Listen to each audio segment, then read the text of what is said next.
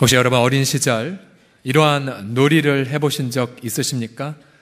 호흡을 멈추고 누가 오랫동안 참는지를 시합하는 겁니다. 예.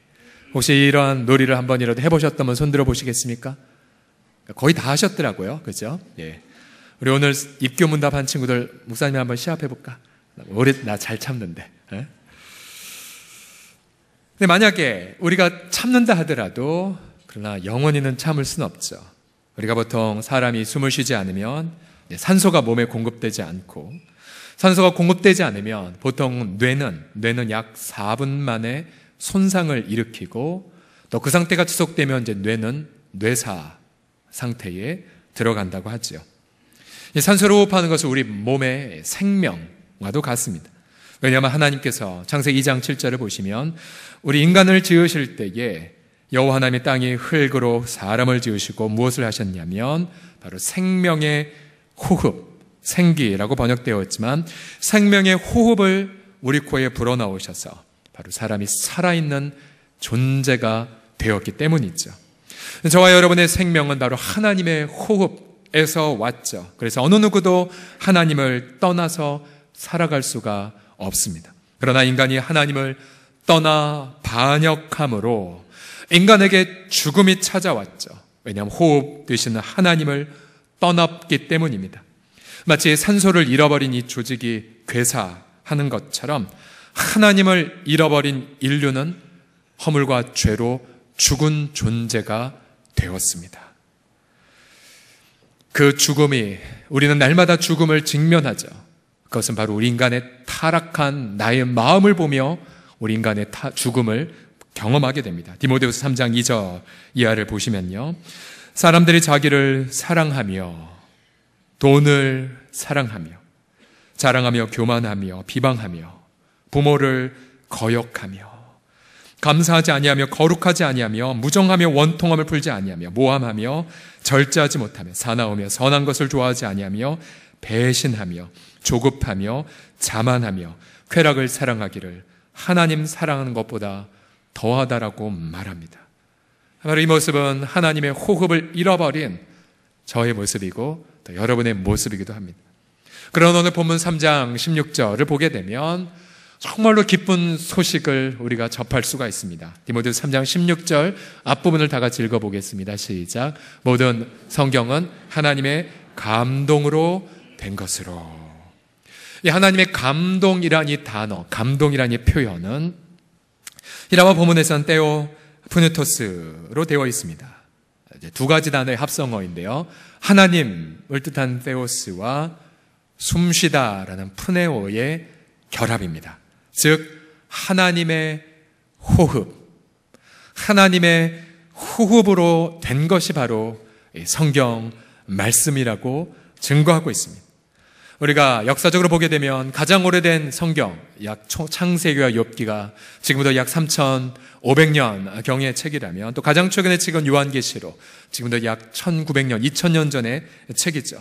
40여 명의 저자가 수많은 많은 나라의 사람들이 또 다양한 직업으로 해서 썼지만 그러나 저들 모두 하나님의 호흡을 받아 성경을 기록하였기에 오류가 없 고 죄의 영향력에서 벗어난 하나님의 말씀이 되었죠. 우리는 하나님 말씀인 성경을 통하여 온 인류가 잃어버린 호흡을 되찾을 수가 있습니다. 오늘 본문을 통하여 우리는 왜 성경이 우리에게 산소와 같은지, 왜 성경이 전 인류에게, 또 왜 전 이 성경이 우리 청소년들에게, 또 모든 일터와 가정에게, 또 민족에게 생명인지를 세 가지로 나누겠습니다. 첫 번째로 왜 성경이 우리에게 산소와 같냐면 성경을 통해 온 인류가 예수 그리스도를 만나기 때문입니다. 같이 읽어보겠습니다. 성경을 통해 시작. 성경을 통해 예수 그리스도를 만나기 때문입니다. 15절을 보시면 자, 성경은 능히 너로 하여금 너로 하여금 그리스도 예수 안에 있는 믿음으로 말미암아 구원에 이르는 지혜가 있게 한다라고 말합니다. 이 문정의 주체는 성경이죠. 성경, 성경.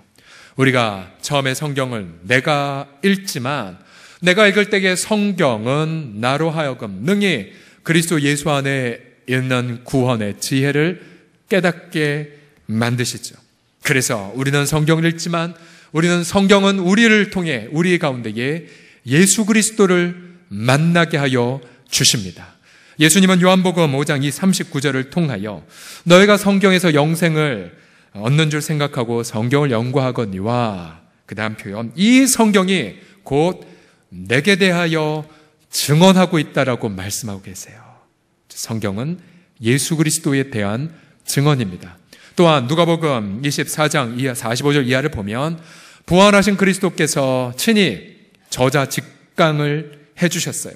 제자들에게 이렇게 말씀하십니다. 이에 제자들의 마음을 열어 성경을 깨닫게 하시고 여러분 이 성경은 학식이 높은 자도 학식이 낮은 자도 어떠한 사람이든 간에 다 이해할 수가 있어요. 왜냐하면 성경을 깨닫게 하는 분은 부활하신 예수님이기 때문에 그렇습니다. 우리가 성경을 펴서 주님 내게 말씀해 주세요. 제가 듣겠습니다. 라고 하게 되면 이 자리에는 우리 어린 청소년이라고 할지라도 하나님의 말씀을 성경을 통해서 듣게 돼. 왜요? 부활하신 예수님이 깨닫게 해주시기 때문에 그렇습니다. 우리 주님이 제자들에게 이렇게 한 문장으로 성경을 요약해 주셨죠.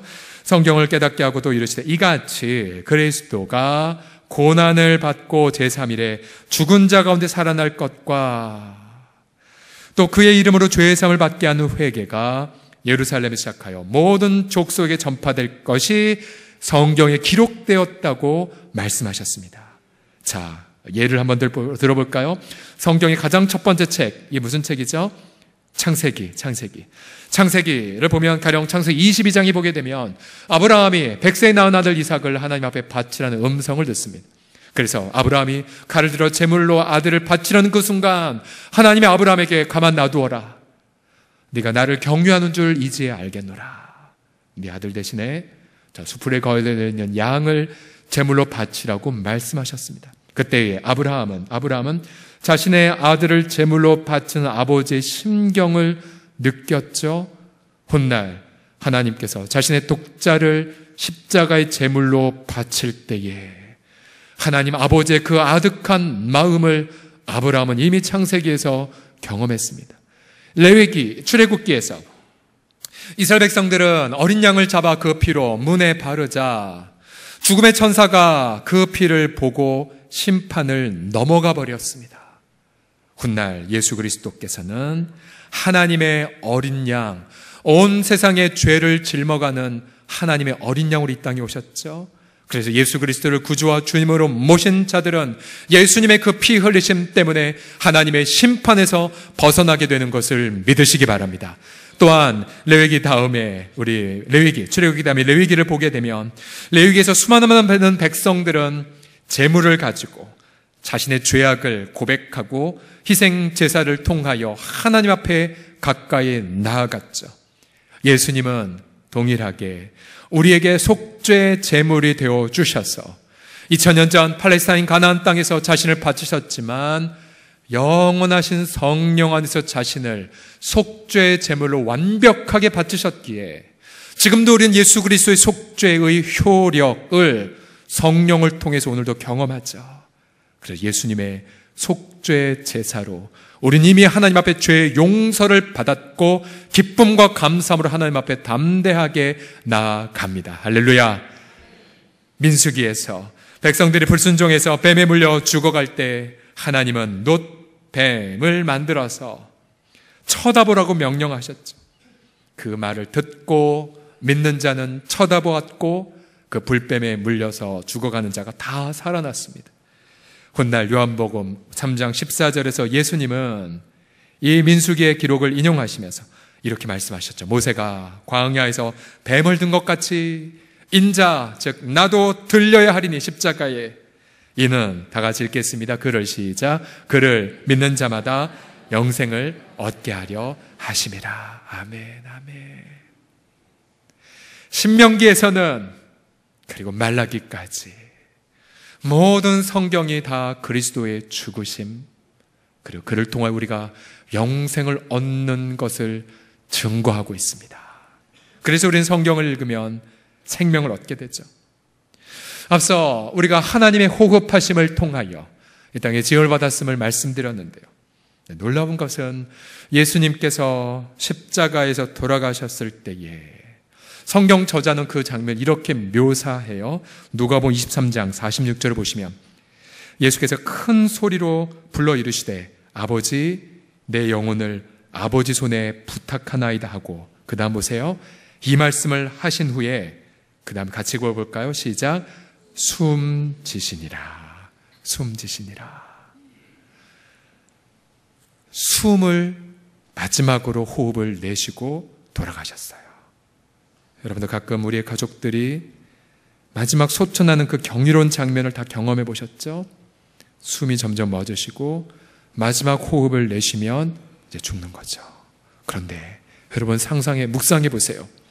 하나님은 하나님은 당신의 호흡을 우리에게 불어넣어 우리를 살게 하셨는데 우리를 지으셨는데 근데 허물과 죄로 우리가 죽었기에 그가 이 땅에 친히 사람이 되셨죠.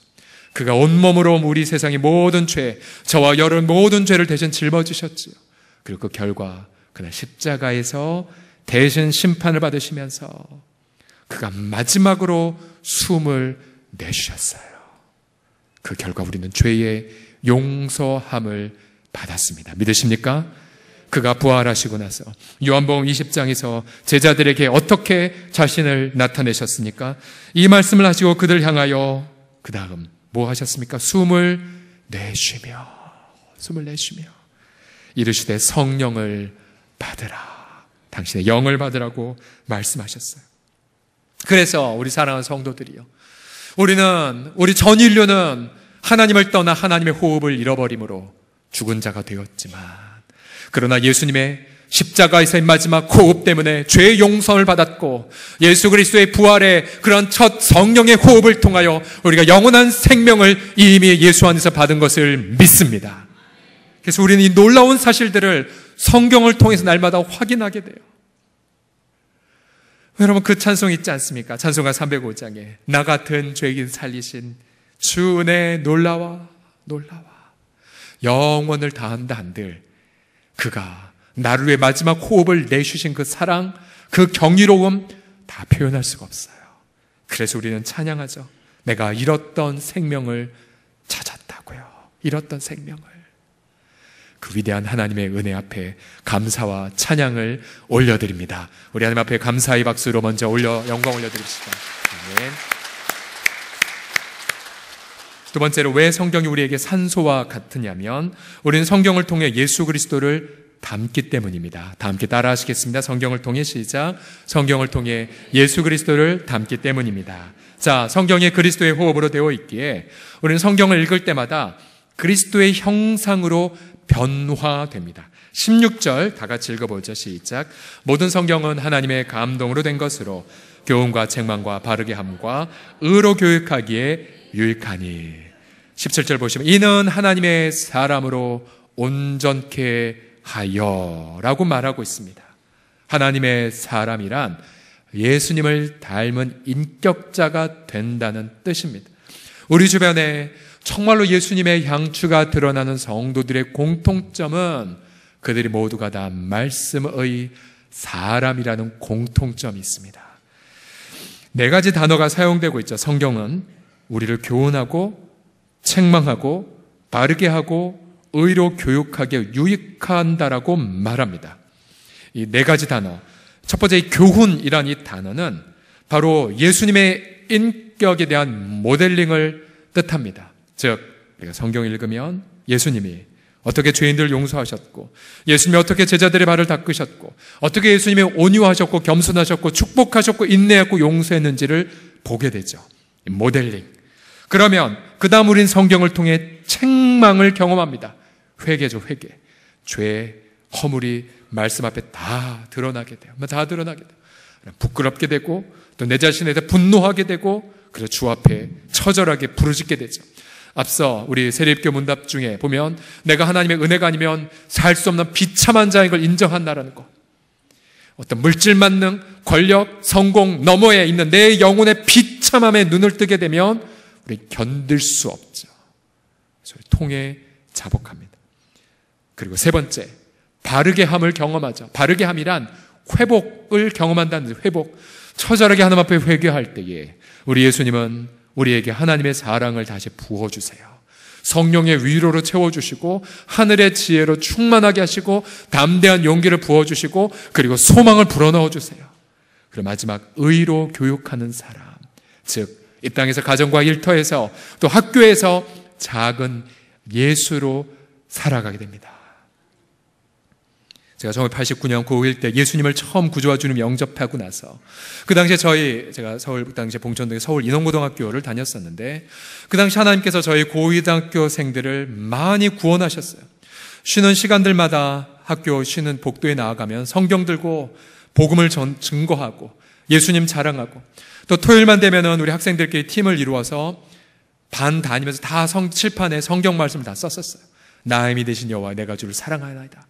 그럼 고2 때에 고3 형네 방에 가면 위에서 막 고3 형들이 막 뭐라고 그래요. 뭐 하는 거냐. 아는 것 하지 않고 쓰죠. 그리고 비밀 있는데 여학생반도 마음껏 들어갔어요.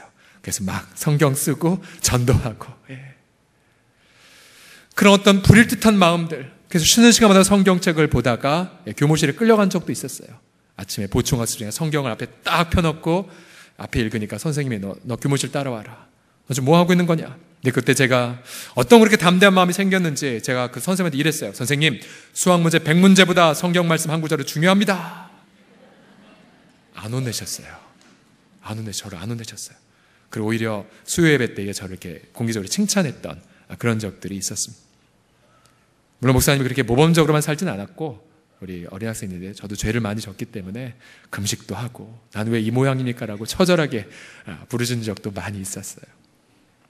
지난달 서울로의 교직자 수련회 때에 어느 장로님께서 이 손에 인원 계수기 이렇게 누르면 이렇게 인원이 하나씩 올라가는 계수기를 들고 하루 종일 그 문 앞에 서 계셨어요. 아, 뭐 인원을 체크하나 보다라고 했는데 나중에 여쭤보니까 그분은 아침에 에베소서 한 구절 읽으면 그 인원 계수기로 한 번 체크. 그 다음에 또 체크. 또 묵상하고 또 체크하고 묵상하고 하루에 500회를 하신대. 500회. 놀라지도 않으신가요? 천 번씩 하시나요? 500회. 장로님이 간증하셔서 목사님 이렇게 하루 종일 하니까 일단 마음이 기쁨이 넘치고 평강이 있고 지혜가 가득해진다라고. 예. 왠지 그 장로님의 모습이 굉장히 성령 충만하게 그렇게 보였거든요. 멀리 갈 것 없이 우리 성도들 가운데서도요. 어, 사업하셨던 우리 어느 아, 우리 안수 집사님. 아, 내 자신의 사업에 큰 어려움이 있었어요. 몇 년 동안. 근데 그때에 그 좌절과 그 낭망을 뭐로 이기셨냐면 말씀 묵상으로 이기셨어요. 그분은 그 사업이 안 되는 그 가운데에 시편 119편 176절을 모두 다 암송하셨어요. 로마서 전체를 다 암송했고 신약성경 주요한 부분을 다 암송했어요. 그러면서 지금 이렇게 회상을 하죠. 목사님, 저의 그때 광야 시절은 시편 119편 71절의 말씀 고난 당한 것이 내게 뭐라고요? 유익이라. 이로 말미암아 내가 주의 율례들을 배우게 되었나이다. 지금도 기쁨으로 간증해요. 간증해요. 그러게 우리 사랑하는 성도들이요. 우리 내일 직장으로 출근하거나 아니면 직장으로 출근하는 그 답답한 배우자의 뒷모습을 보라보며 정말로 고통하는 우리 배우자들 많으실 텐데요. 이 땅의 시련, 이 땅의 고통, 우리가 막을 수 없을지 모르지만, 그러나 우리는 오늘도 이것 하나는 결정할 수 있습니다. 하나님, 내가 어떠한 상황에 있다 할지라도 말씀으로 말미암아 예수님을 닮아가는 삶을 살게 나이다. 라고요. 주님, 여러분에게 늘 고백하죠? 여러분, 새생명 축제는 단순히 성도들, 많은 사람들 동원시켜서 출석수를 늘리는 데 목적이 있지 않아요. 여러분, 새생명 축제의 메인 스피커, 주강사가 누구라고 말했습니까? 서경철일까요? 배재철 교수일까요? 아니에요. 새생명 축제 주 강사는 다 따라 하시겠습니다. 요 나입니다. 라고 시작. 요 나입니다. 여러분들이세요, 여러분들. 여러분들의 말씀을 묵상하고, 그래서 삶 속에서, 여러분의 일터에서, 여러분의 이웃에서, 여러분 동네에서, 여러분의 학교에서 작은 예수님으로 살아갈 때, 우리 믿지 않는 분들은 여러분들의 얼굴을 보고 우리 주 앞으로 나오게 하실 줄을 믿습니다. 이 가을 이러한 풍성한 예수님을 닮아가는 아름다운 열매들이 여러분이 가을에 가득히 넘쳐나기를 주님의 이름으로 부탁합니다. 마지막으로 성경이 우리에게 왜 산수와 같냐면 성경을 통해 예수 그리스도의 일을 감당하기 때문이에요. 마지막 세 번째 크게 읽겠습니다. 시작. 성경을 통해 예수 그리스도의 일을 하기 때문입니다. 자, 우리가 성경을 통해 예수님을 만나고 예수님의 인격으로 변화되면 어느덧 우리는 예수님의 일을 하고 있는 것을 발견하게 돼요. 17절을 보시면 이는 하나님의 사람으로 온전, 즉 성숙시켜서 예수님을 닮게 만들어서 그 다음 모든 선한 일을 행할 능력을 갖추게 하려 함이라. 무엇이요? 성경 말씀이. 성경 말씀이. 자, 여러분 예수님의 일이란 것이 무엇입니까? 예수님은 누가복음 19장 10절에서 자신의 미션을 이렇게 정리하셨어요. 인자가 온 이유는 잃어버린 자를 찾아 뭐하게요? 구원하기 위해. 구원하기 위해. 그 방법은 누가복음 마가복음 10장 45절에 보시면 인자가 온 것은 섬김을 받으려 함이 아니라 도리어 섬기려 하고 자기 몫을 많은 사람의 대속물로 주려 함이니라고 그 방법을 말씀하셨어요. 즉 모든 선한 일이란 한 영혼을 위하여 예수님처럼 섬기고 희생하는 것을 뜻합니다. 교회에 수많은 많은 일이 있다 할지라도 그 일의 귀결이 한 영혼 구원하는 것으로 귀결되지 않는다면 그 일은 건강하지 않을 일이 가능성이 많이 있죠. 우리가 성경을 읽으면 이 성경을 통하여 그리스도의 마음을 접하게 되죠. 그리스도의 한 영혼을 향한 애달픈 마음을 접하게 되면 나도 모르게 자꾸만 사람들이 생각이 나요. 생각이 나요. 연락이 끊겼던 사람, 또 자꾸만 사람들이 생각이 나고, 그 다음 그리스도께서 그들을 안타깝게 여기셨던 마음을 우리도 경험하게 돼요. 그가 세상에서 잘 나간지 잘 나간 수 있다 할지라도 하나님 앞에 그가 겪고 있는 영혼의 처절한 비참함, 허무감, 그리고 죄책감. 그래서 우리는 그 영혼을 놓고 눈물로 기도하게 되죠. 89년도에 제가 처음 예수님 영접했을 때에 저는 그저 그냥 과학자가 되기 위한 물리학을 전공하기 위한 과학도였었지만 그래서 정말 정서가 메말려버린 그냥 평범한 고등학생이었지만 예수님을 영접하고 나서 터져나온 눈물은 하나님 빨리 우리 가족 구원해 주세요. 너무 저주 아래 놓여 있기에 잠깐이라도 놓치게 되면 저들이 저주 아래서 고통합니다라고. 얼마나 하나님 앞에 통곡하며 눈물 흘렸는지. 12년이 걸렸죠. 가족 보고마가 되는데 얼마나 많이 울고 얼마나 많이 그렇게 하나님 앞에 매달렸는지 모릅니다. 그건 제 마음이 아닌 걸 알아요. 그건 바로 한 영혼을 사랑하사 자신의 생명을 바치신 예수님의 마음을 제가 접했기 때문에 그렇게 안타까운 마음을 품었던 거죠. 그러게 여러분 이 가을에 새 생명 축제는 하나 이벤트가 아니에요. 저와 여러분 모두가 정말로 성경을 통해 예수 그리스도를 제대로 만났다면 여러분 내면 속엔 영혼을 향한 구령의 열정이 있을 수밖에 없어요. 여러분의 사랑방 교회가 정말로 주님을 모시고 주님의 일을 하기를 원하는 건강한 사랑방 교회라면 한 영혼을 위하여 전도할 수밖에 없고 한 영혼을 위하여 사랑방에 부어진 그 재능과 달란트를 하나님 앞에 나눌 수밖에 없습니다. 여러분 이 가을에 이 가을에 낙엽 떨어진다고 해서 내 영혼 우울하다라고 탄식하지 마시고 오히려 그리스도의 그 애달픈 마음을 다 체험 받으셔서 한 영혼에게 나아가 복음 전도의 열매를 맺는 이 가을을 보내시기를 예수님의 이름으로 부탁드립니다. 지난 수요일 날 우리 교육자 가운데 한 지체의 어머님께서 수술을 받게 되셔서 어, 수술 어, 대기실에 간 적이 있었습니다. 그래서 우리 교육자와 또 그의 가족들 만나 위로해주고 기도를 해드렸는데요. 근데 낯익은 얼굴이 거기에 한 분 서 계셨어요. 그분은 예전 교회의 제가 맡은 교구는 아니었었지만 옆에 교구 식구였는데 늘 뜨겁게 정말 그 마을장이셨는데 남자 집사님이셨는데 사업가셨는데 늘 뜨겁게 단기 선교하고 영혼 섬겼던 분이셨어요. 집사님 왜 여기 계세요? 마을장님. 했더니 그분이 예, 자, 저희 아들 신장이식 받는 중에 있습니다. 몇 살인데요? 14살이요. 어떻게 그 어린아이가 신장이식을 받습니까? 자초지정을 들었어요.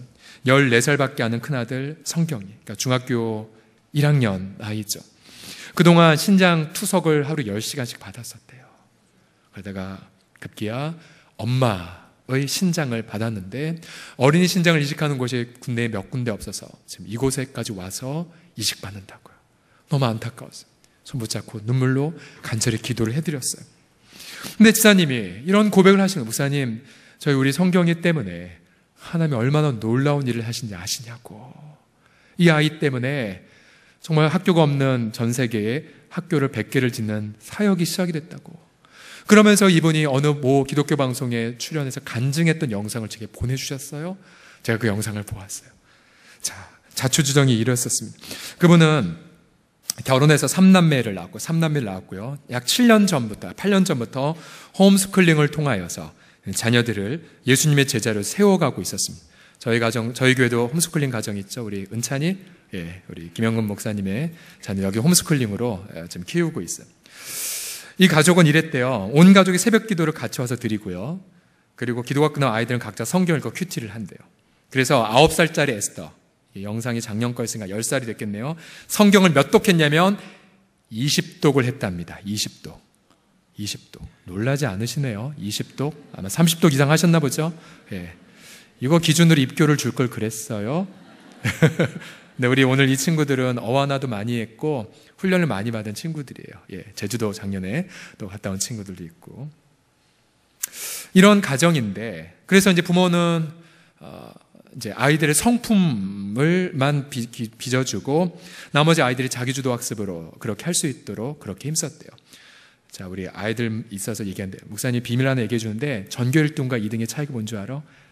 학원 다니는 것과 자기주도 학습이 난 차이인데 진짜 최상위권은 학원 안 다녀. 다닐 시간 없어. 하나님이 주신 지혜와 총명으로 공부해. 어, 진짜로. 학원 의지할 필요 없어. 주일날 놀아. 주님 앞에서. 월요일부터 토요일까지 생명을 걸고 예배하듯 공부해. 알았지? 알았지? 아, 이것도 입교문답에 넣을 걸 그랬어요. 네. 자, 다시, 다시. 자, 이런 가정이었는데, 2013년 2월 달에 성경이가 감기를 입원을 했는데, 각혈을 하더니 갑자기 신장이 원인 모르게 멈췄대요. 신부전증에 걸리면서 폐에 물이 차게 되었대요. 중환자실로 그냥 가버렸던 거예요. 멀쩡한 아이가 중환자실 갔다는 소식을 듣고 그 당시 출장 중이었던 임채종 집사가 하염없이 눈물을 흘렸대. 하나님 왜요? 왜? 왜요? 왜요? 너무 고통하고 힘들어하는데 그래서 아이가 인공호흡기 끼면서 그냥 의식 없는 채로 중환자실에 있던 거죠. 근데 하나님의 말씀이 들려왔대요. 이사여서 43장 2절과 19절 말씀인데요. 이런 말씀이 들려왔대요. 네가 물 가운데로 지날 때에 내가 너와 함께 할 것이라. 강을 건널 때에 물이 너를 침몰하지 못할 것이며 네가 불 가운데를 지날 때에 타지도 아니할 것이요 불꽃이 너를 사르지도 못하리라. 아, 우리 아이를 하나님이 지켜 주시나. 또한 19절에 이런 말씀을 받았대요. 보라, 내가 새 일을 행하리라. 내가 네 아들을 통하여 열방을 돌아오게 하리라.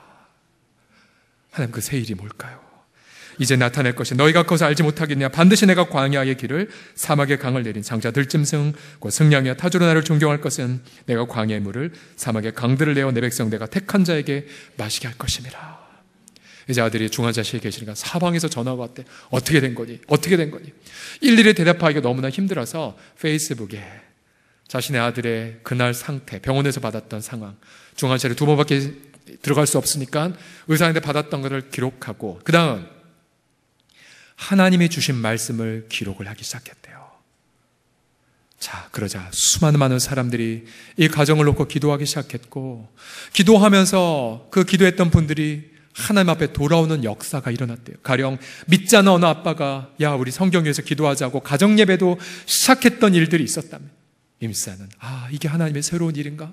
장자 들짐승과 승냥이가 나를 경외하게 된다는 것이 이러한 일인가라고 경외감을 가졌대요. 그러나 아이의 상태는 좋아지지 않았습니다.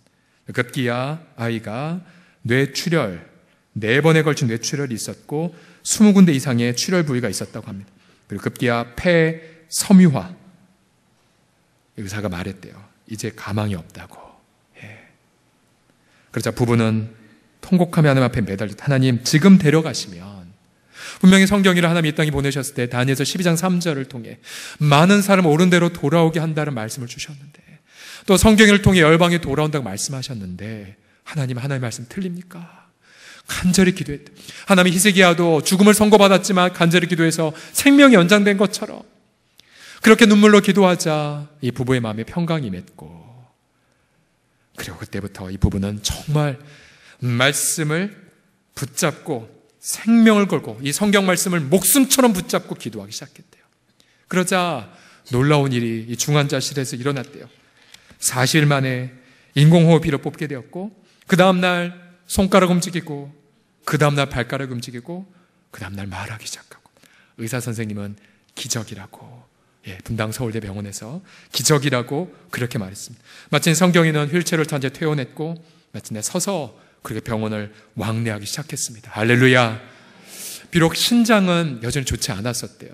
작년부터 우리가 신장 이식을 놓고 기도하다가 지난주 수요일 날 어머님의 신장을 이식받고 문자를 받았어요. 목사님 소변이 이만큼 배출되었어요. 정상이 된 하나님을 찬양합니다. 라고 그렇게 고백을 했습니다. 하나님의 세일이 이걸로 끝나지 않았어요. 이제 성경이가 퇴원하고 임사가 언제나 하듯 단기 선교를 가다가 네팔로 단기 선교를 갔대요. 근데 네팔에서 이분이 본 게 무엇이냐면 학교를 가지 못하는 아이들을 보았대요. 학교를 가지 못하는 아이들. 정교사님이 이 아이들에게 필요한 건 학교입니다. 기도해 주십시오. 나 그날 저녁 임집사가 하나님 앞에 기도할 때에 하나님 학교 뭐 다른 사람도 많이 갔고 저는 저렇게 평범한 사람이니까 하나님 학교 다른 사람 통해서 세워지게 해주십시오. 라고 그냥 그런 기도를 했었대요. 근데 그때에 이분이 말씀을 통해서 이러한 마음을 하나님께 받았대요. 사랑하는 아들아, 네 아들 성경이가 그렇게 귀한 것처럼 내게는 내게는 이 아이들이 내게도 귀하단다. 귀하단다. 하나님의 그 마음을 듣고 이사님은 눈물로 하나님 앞에 기도했어요. 그리고 이 마음을 역시 자신의 지인들과 함께 나누었더니 SNS상을 통하여 157일 어, 만에 약 1년 정도 걸릴 거 예상이 됐더니 학교 모금 금액이 157일 만에 약 2,500만 원 정도가 모금되어져서 첫 번째로 네팔에 학교를 세우고 100명의 학생들이 다니게 되었답니다. 그리고는 이분이 아, 너무 놀랍다라고 하는 찰나에 지난 2010년도에 자신의 인생의 버킷리스트 죽기 전에 꼭 하고 싶은 목록을 소원했었던 그 목록에 자기가 무슨 생각으로 썼는지 모르지만 거기 이런 게 있었대요. 하나님 100개의 학교를 짓게 해주세요. 역시 이런 부담을 지인들과 나누었더니 어느 모 장로님께서 그래? 그럼 뭐 짓지? 그러면 사방에 재능을 가진 분들이 한 자리에 모여 단체를 만들었고 그래서 지금까지 전 세계 9개 학교를 건축했고 그중에 방글라데시도 있더라고요. 우리 앞으로 100개의 학교를 짓기 위해 지금 기도하며 힘쓰고 있습니다. 할렐루야. 광야에 새 일을 행하리니. 그러기에 여러분, 지금 이 시간 저와 여러분들, 예, 지극히 평범하고 그리고 가지고 있는 세상적으로 가지고 있는 것이 없고 또 우리는 광야에서 참 많은 시련을 겪다 할지라도 여러분 놀라지 마세요. 하나님이 여러분들을 통하여서도 여러분을 통하여서도 이 하나님의 기록된 말씀을 통하여 여러분의 인생 속에 위대한 일을 행할 것을 믿습니다. 여러분 창세기에서 요한계시록까지 무수하게 많은 말씀들이 이렇게 기다리고 있어요. 제발 정말 이 말씀을 붙잡고 생명 걸고 기도하는 사람들을 내게 달라라고. 여러분 저는 알고 있어요. 10대 17살에 예수 그리스도를 만났고 20대 시절 이 말씀을 붙잡고 하나님 말씀 이루어 주세요라고 이 말씀 이루어 주세요로 기도했을 때에 제 인생 속에 이루어지지 않은 것이 단 하나도 없었어요. 저는 기대해요. 제 인생 속에 아직 이루어지지 않았던 하나님이 주신 약속의 말씀들이 저의 지극히 평범한 저를 통하여 어떻게 이루어 가실지를 저는 기대합니다. 그 기대의 목록 가운데 하나가 바로 여러분들이세요. 당장 내일 이제 출근하거나 내일 학교에 가게 되면 끊임없이 세상은 여러분의 말이에요. 야, 너의 성적으로, 야, 너의 부모님의 배경으로, 너의 그런 사업으로, 너의 경험으로 넌 아무것도 아니야. 그러나 하나님은 말씀하고 있죠. 내가 장차 이 사막에 강물을 낼 것이고 내가 이 광야에 위대한 일을 행할 것이라고요. 여러분 우리 가운데 생명의 호흡을 불어넣어 주신 그 하나님 자신의 마지막 호흡을 십자가에 내부셨고 부활하셔서 성령으로 함께 하신 그 주님 그 주님이 여러분과 함께 하십니다. 오직 이 하나님 말씀을 붙잡고 하나님의 얼굴만을 구하심으로 여러분 인생 전체가 예수님의 형상으로 아로새겨지시기를 우리 주의 이름으로 간절히 축원합니다. 내 안에 성경을 살려주세요. 내 안에 성경 말씀을 사랑해주세요. 내 안에 말씀을 목숨 걸고 지키게 해주세요. 기도하겠습니다.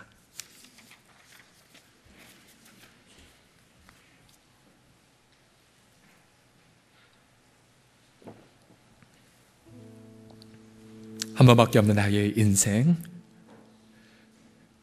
하나님의 말씀이 우리 가운데 임하시사 우리에게 영원한 생명을 이미 주셨기에 그래서 이 말씀, 이 영혼, 이 인생 부여잡고 광야의 새길, 사막의 강물을 내시는 장차 들짐승들이 하나님을 경외하는 현장에 쓰임받는 인생, 우리 아버지 앞에 동성으로 회개와 결단의 기도를 드리겠습니다. 기도하겠습니다.